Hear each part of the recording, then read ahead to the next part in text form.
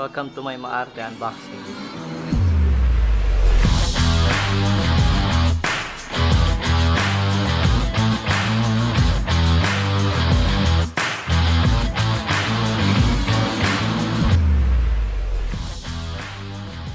So, kanina, I tried to disinfect this box with yung Lysol lang yung ginamit ko para makasigurado tayo. Medyo parang OA na yung ano, parang ang maarte na unboxing kasi I think ito na yung bagong normal na mga mga mga buhato na to ba? Like to be safe lang.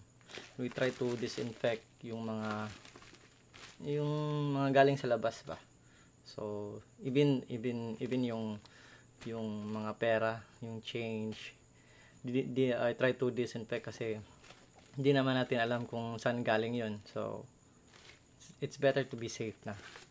Anyways I'll try to unbox na lang. This is my bagong uh, headphones na in order ko. So try to unbox. Wala namang rules sa pag unbox I check a lot of, of reviews about this headphone. Um, maganda naman. So I so ito yung pinili ko. Mar- marami yung mga options na na na pagpipilian. Pero mas gusto ko to kasi uh, sabi nila flat response daw. So hopefully hindi siya damage kasi nawala na yung na-erase na yung yung details dito sa package. So hopefully walang damage. Hindi na to ma-refund. Uh, hopefully. Hopefully lang. So nasa na ba yung gunting? Ah wala so wala namang rules sa pag-unbox. Gaya ang dami kasing mga nag-react sa unboxing ni Mateo. So so parang hinay-hinay lang siguro ta umabot lang. Hopefully walang sira. Kasi may may ano yung sa JNT JNT yung yung video na tinatapon-tapon lang yung mga box. So medyo naging worried ako. Kasi baka may may sira na to or I don't know if you see uh, I mean you try to check sa unboxing ni Casey Neistat grabe yun. Mas grabe pa yun kay Mateo. So maybe yung iba nag overreact yung mga gumagawa ng mga unboxing I mean yung reaction about sa unboxing ni Mateo. So anyways uh, la may UP hmm? UP yung box so hopefully walang walang sira hindi itong original box niya so I'm expecting this kasi yung mga nag-order nito when I uh, check the ano reviews yung mga comments uh, yeah comments sa seller um, wala siyang original box oh, oh, oh, oh. Tara. Wala siyang original box. Maybe. But sabi naman original daw. Ang dami namang mga positive na ano comments. So ito lang yun. Meron siyang ano to warranty card ba to? So user's manual. Okay naman. Parang hindi mo masabi na peke or uh, I don't know. Okay naman yung ano. Kasi yung mga imitation. Yung pangit yung pagkagawa ng ng anong tawag doon yung manual or yung yung mga yung hanap ba? Blurry ba? Hindi siya maganda yung hindi maganda yung pag-print. So ito na yung headphone hinayon na to. Stick oh so may protective ano siya? Mag cap ba? So maganda. Okay. Ay. UP yung may ano parang UP yung leather na ano ba? Headband. Saan pang gunting? So take it easy. We'll take it easy. Hindi tayo si Mateo I mean um, wala naman akong ano kay Mateo. I used to own um, yung Xbox 360. Okay naman yun. Eh, eh, actually, normal naman yung ilalagay na parang ganon or ganon. Kasi, kasi yung, yung, yung gaming console is designed for beating.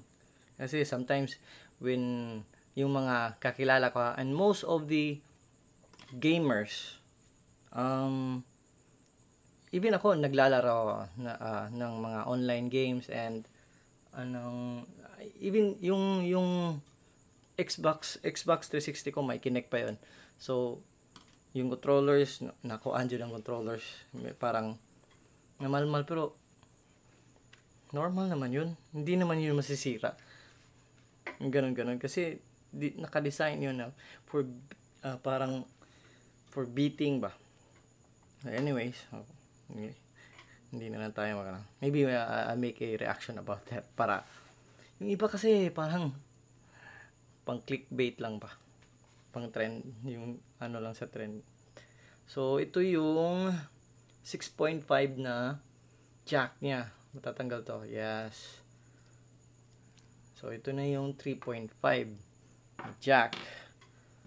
So, if you're gonna use this um, pag may ano kayo um, maybe mixer or uh, audio interface ito yung gagamitin nyo kasi yung ibang enter, uh, audio interface or yung mixer uh, naka PL PL I think PL yung size na tawag nito or 6.5 mm na jack tapos yung regular na 3.5 pang cellphone or yung sa laptop mga ganun But wala tong mic. Wala tong mic. TRS lang yung ano TRS. So dalawa lang yung dito, yung lines. Pag TRRS, tatlo. Kasi yung isa sa mic yun. So yun na yun.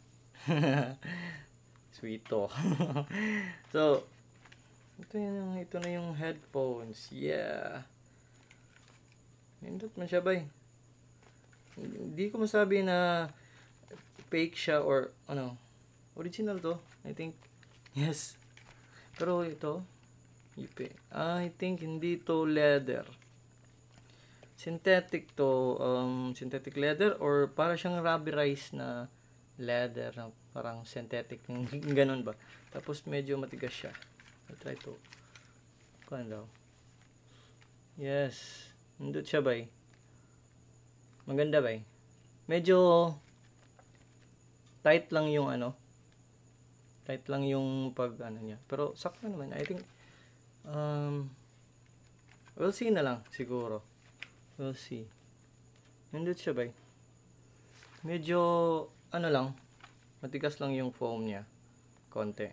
But you can replace man sa uh, uh, may, meron namang mga mga uh, air cups or earpads na na mabibili online. So, if I'm planning to upgrade this uh, air cups, so meron naman. So, let's try to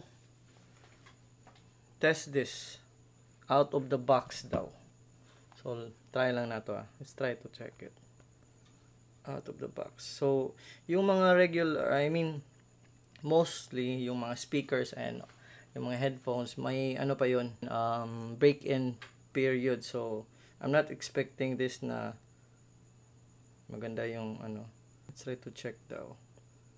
Drive. Usually, ito yung unang ipi-play ko pag sa headphone. I try to check.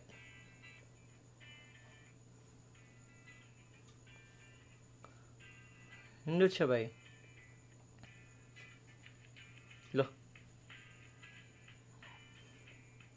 Suga eh. Kusog. Nayan ako kamay. Yung acoustic na sa gitara, maganda siya.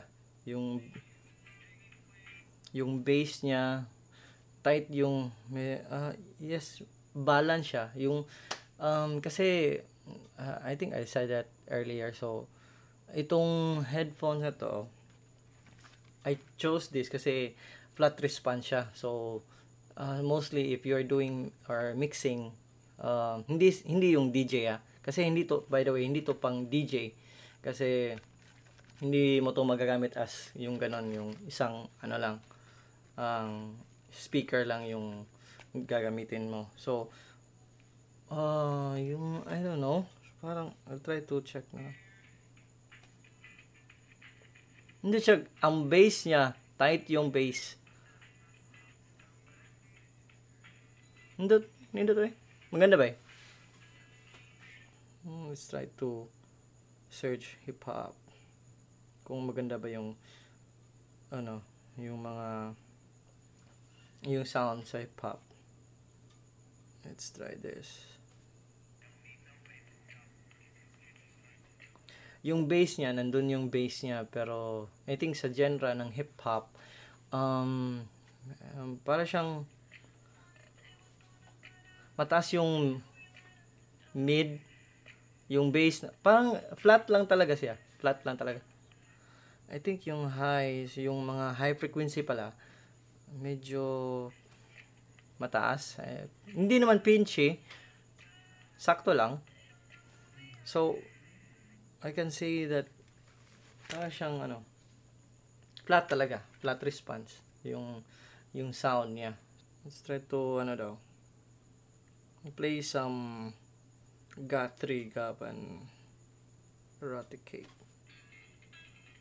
Lo. Ah, hindi to eh. Hindi siya ba eh?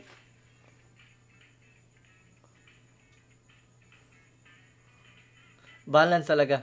sakto siya. Sak I think sakto siya pang rock, yung pang funk, pop. Pero sa, I think sa hip hop, sakto lang siya. Hindi siya, yung bass kasi sa hip hop, um, parang kailangan malakas or ito yung bass niya sakto lang for listening for listening pare maganda to let's, let's try to continue I'll try to continue listening hindi to yung gitara anong luto kayo ba oh yes yung bass yung bass guitar Parang, ang tight bay. Hindi siya bay. Tapos ang lakas. Hello tay. Ninit kayo.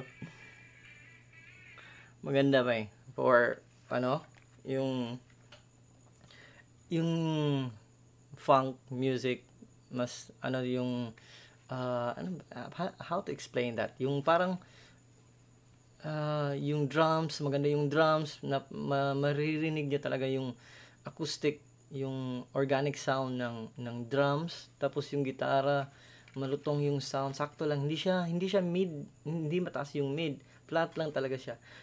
I think this is maganda siya for listening by. Nandito siya by.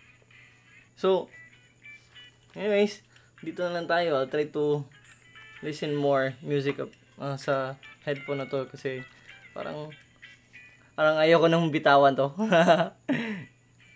Hindi siya ba eh. So, maybe I'll try to make a review about this uh, maybe next week siguro pag na, ano, na break in na siya. So, di rin na lang tayo.